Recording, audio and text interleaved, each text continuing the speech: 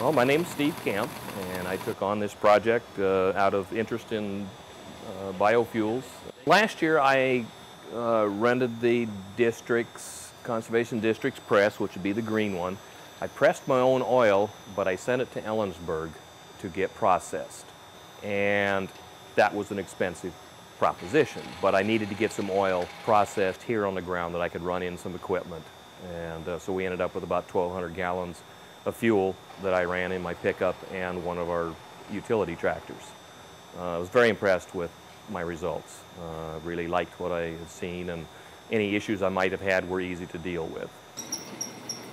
There's a lot of people interested in this project, so I think it's a good deal. For a couple of years, we're going to put this thing on a trailer and go around to different sites and demonstrate how this can be done for those people who are interested. Farming's been known as innovators, and uh, we're we'd like to think we're one of many innovators out there getting the job done. It's a green product.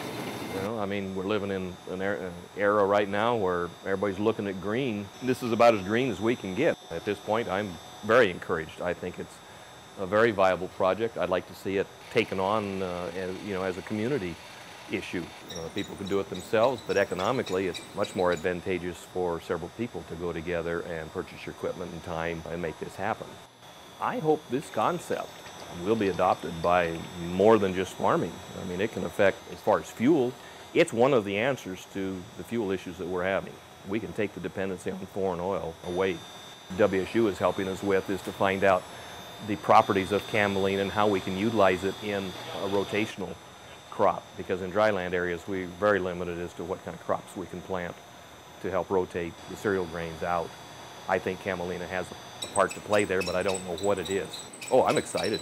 You know, this, this is something I've been wanting to do, and, and I finally reached a point where I'm okay with it. I've got enough information that uh, I believe the system is good to go. Uh, it's just a case of, of fine-tuning it now to fit our operation. And hopefully in the process, we can encourage others uh, to look at it and maybe do something.